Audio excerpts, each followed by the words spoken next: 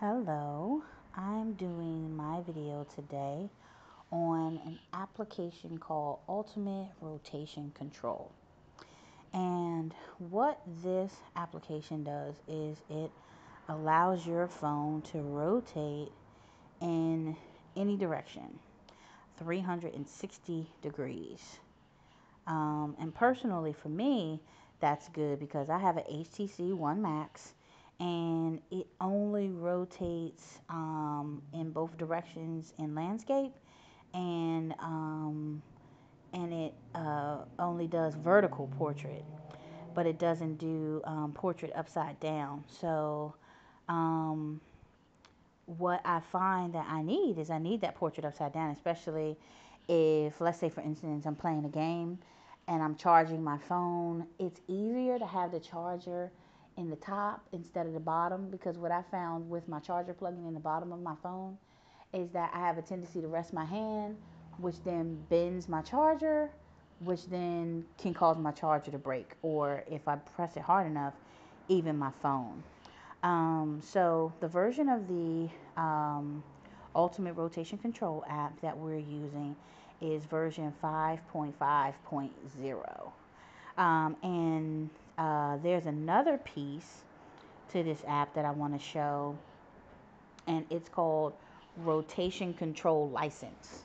So there are some limitations to the application, some things that you can't do um, in the settings to the app unless you purchase the license. So you can use the app for free, uh, and or you can purchase the um, license and get the full benefit of all of the things in the app.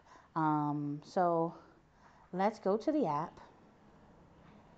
And if you can see, it's rotating my screen. Now, the other reason why um, I um, like having this is because my home screen, I use the um, My launcher and it doesn't do it in landscape mode.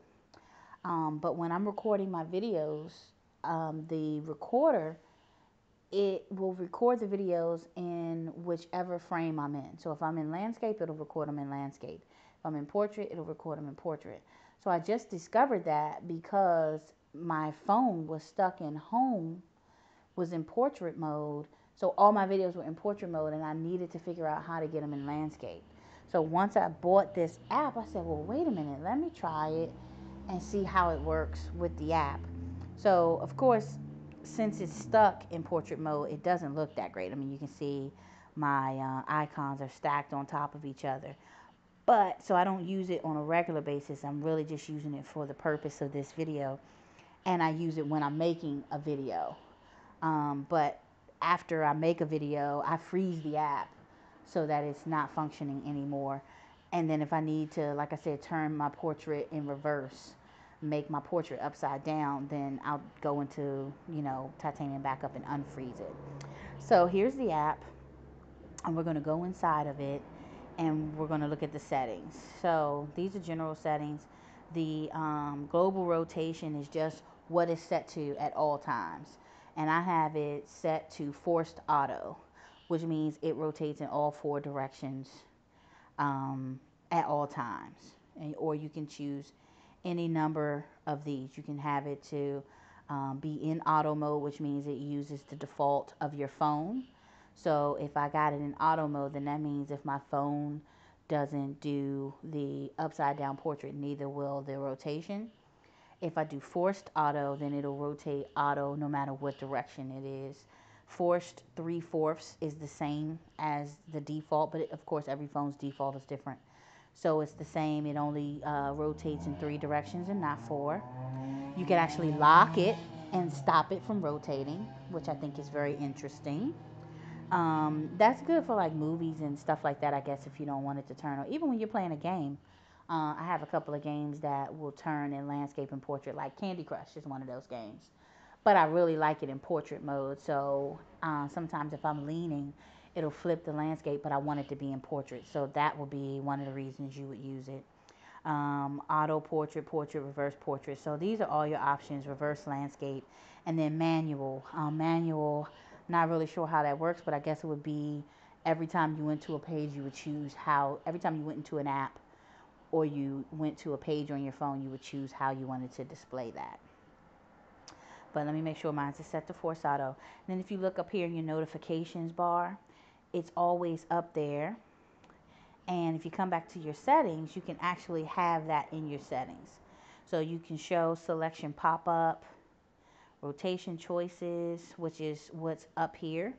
And I have it set for the forced auto to lock the screen if I want my screen locked, to do the reverse portrait, which is to flip the screen upside down, or reverse landscape.